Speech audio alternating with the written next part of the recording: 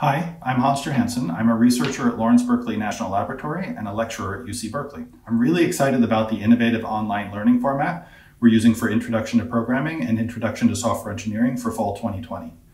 These courses are a foundation for the Professional Masters in Molecular Science and Software Engineering online degree. So we've taken a novel approach to make sure you get the most out of them. My background is in both scientific computing and in commercial software engineering. I've been in startups, led financial services software teams, and done a lot of technology consulting. I want to bring some of that professional experience into this course so you'll be better prepared for research using molecular simulations, or even if you end up using your software skills in some other profession.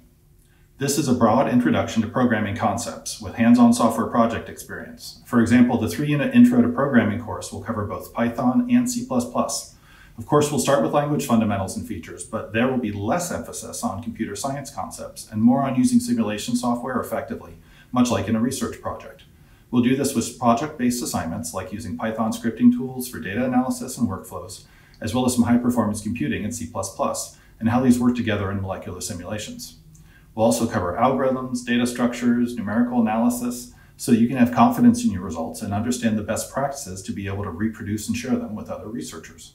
In the follow-on course, Introduction to Software Engineering, we'll build up the professional aspects of computational science software.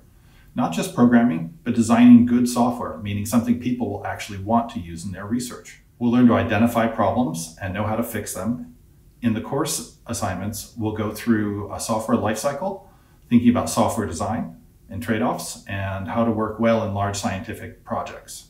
We want to share our hard-earned wisdom to boost your productivity and confidence in your research. The online lectures and assignments will have an innovative format where I'll take you through slides, code examples, reference materials, and set up project-based assignments that will be more like a collaborative science team instead of just homework. There will be office hours and discussion groups to make sure you can get your questions answered and pursue concepts further when you're excited about something.